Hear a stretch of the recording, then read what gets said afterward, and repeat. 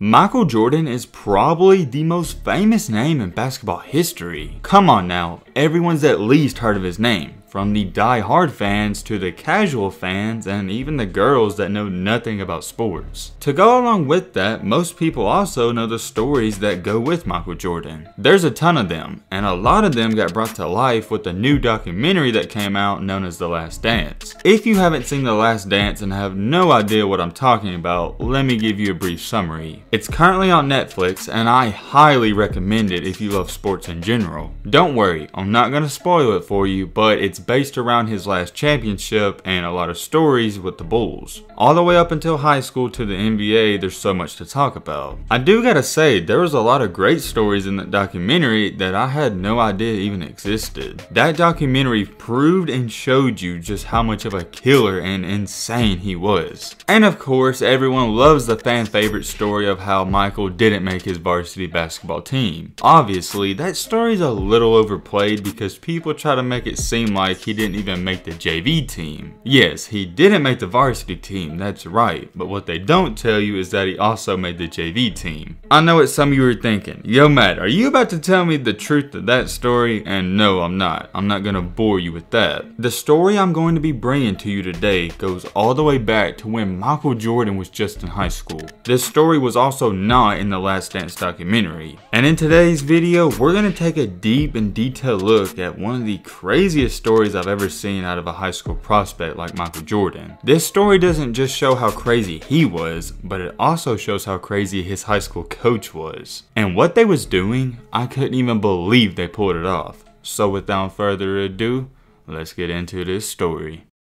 What's good, y'all? I hope you're having a blessed day. Just wanted to drop by real quick and say we're on the road to 100k. We're super close. So if you love basketball content or anything like this, what are you doing? Join the family, hit that subscribe button, and leave a like for more. Now, without further ado, let's get into the story. Okay, so like I was saying, in The Last Dance, there was a ton and a ton and a ton of stories about MJ. It was a 10 part documentary and in total it was 10 hours long. But there's no way you could fit all these stories and the entire life of MJ from an unknown prospect to arguably the greatest player of all time. There's just no way. Sure you could touch on them, but you couldn't really dive into them. I don't even know if the documentary was 100 hours long and had 100 parts you could cover everything. Even the director of the the documentary revealed that the story I'm about to tell you was his favorite, but he couldn't fit it in the videos. To get into this story, we gotta throw it back to when Jordan was just in 10th grade. At this point in time in his basketball career, this is when his high school coach and people around his area knew he had the potential to be really good. They didn't know he was gonna be a six-time NBA champion, but they knew he had potential. Here's the thing, he was already reaching into his potential and he was already really, really good, but nobody was seeing him play. It doesn't matter if you're putting up 35 points per game. If there's no colleges, scouts, or film, it's almost like it doesn't even matter. So therefore, that was a big problem for Jordan and his recruitment process. To say he was getting absolutely no love may even be an understatement. Nobody, and I mean nobody at all, was looking at this kid. And remember, back in those days, there wasn't all these film and all this YouTube like there is now. However, with that being said, one big thing back then was going to a lot of big time camps. Now, here's the thing, they didn't just let anybody show up, you had to be invited. And to be invited to most of these camps, and I'd say even 98 to 99% of them, you had to meet their requirements. And the requirements most of the time was they required you having a certain amount of stats. So basically, for example, you had to average 18 points per game, 10 rebounds, and 5 assists just to get in. And at the time when Jordan was in 10th grade, his stats weren't good enough to get him into these camps, but his coach thought he was good enough to be getting recruited. You can see right there where this is frustrating and it's a big problem. Jordan, his coach, and all the people around him in that area think he's a really good player and he can play at the college level.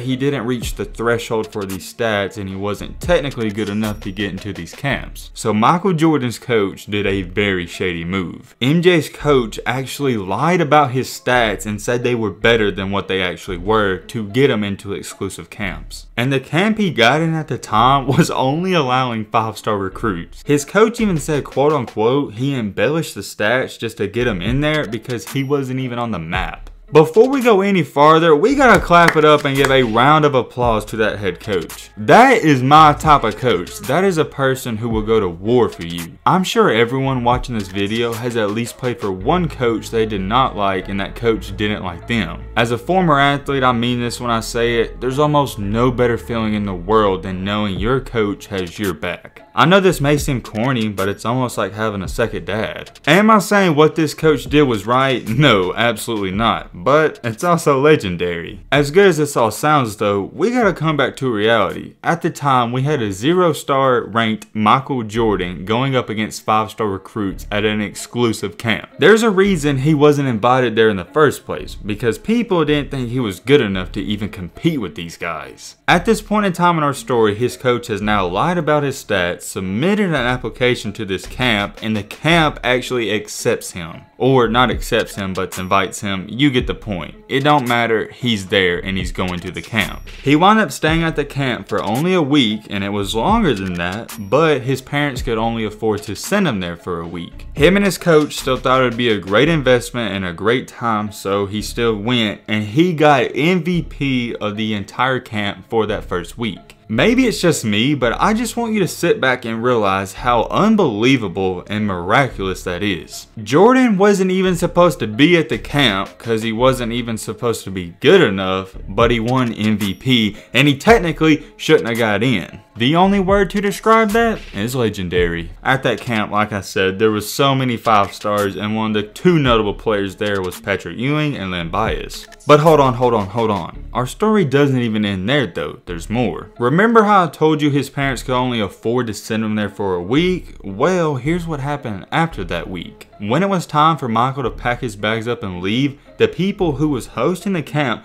came up to him and begged him to stay for the second week. And the reason they were begging him was because there was more college coaches that wanted to see him play in person. As good as the opportunity sounded and Jordan wanted to do it, he couldn't because his parents couldn't afford it. Quote unquote, he told the host, we can't afford it and they said, okay, we'll find another way. The people that were hosting the camp can't just pay for him because technically that's illegal. So they wound up working out a bargain and I can't even believe this happened. They told Jordan and his parents that they would pay for him if he works in the kitchen as a waiter for all of the other kids. So after Michael Jordan would get done during the day giving buckets to everyone at the camp, he would then be feeding them and giving them their meals. That is the craziest thing and maybe even the most disrespectful thing I've ever seen or heard of. Imagine a kid dominating you, winning MVP, giving you straight up buckets, and then an hour later he's handing you a drink and your food. The stories you hear about Michael Jordan, you can't make up. It just proves how much of a legend and GOAT he is. I just can't get over that. Imagine Michael Jordan dunking on Patrick Ewing in high school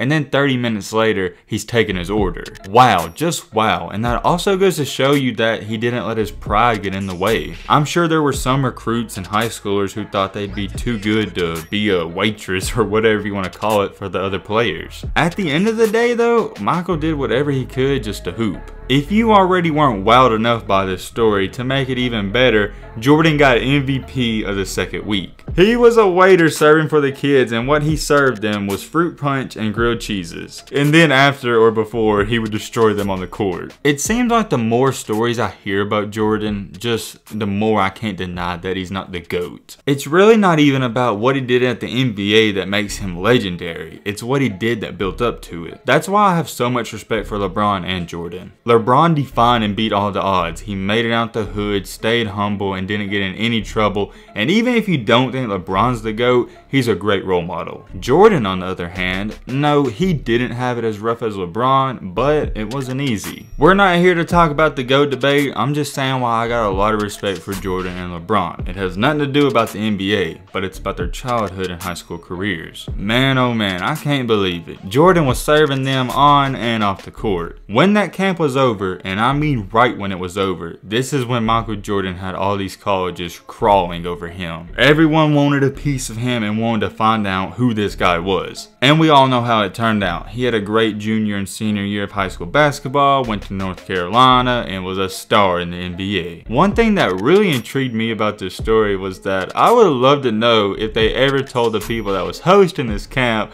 about their coach lying about his stats. I'm sure they know by now, but I want to know when the news came out. Was it a year later? Was it five years later? Or was it 10 years later? Hey, who cares? It doesn't even matter. He got in the camp and he dominated. I know we don't cover NBA players a lot on this channel, but I thought this story was too good to pass up. And plus, it's when Michael was in high school, so technically it's a high school story. Let me know in the comment section what you think about this story. I'm very curious. But with all that being said, that's gonna wrap up this video. I hope you guys enjoyed. Hope you guys learned something. If you're new to the channel, what are you doing? Join the family, hit that subscribe button. We're on the road to 100k. We can't get there without you, so I appreciate it if you join the family. And as always, let's be great. I'm out, y'all. Peace.